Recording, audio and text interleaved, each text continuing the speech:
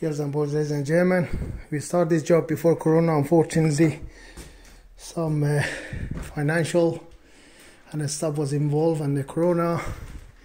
So we started again. I was actually we were working from this that way.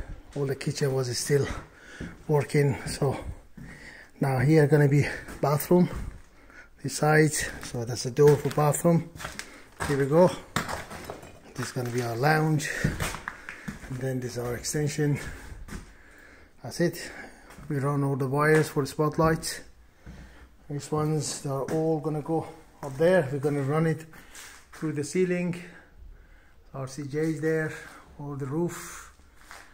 We're to put the kingspan insulation inside and then on the top we're to do the on the floor heating that's it with the radiators a little bit plasterboard and stuff. I think we got another one month to finish this project.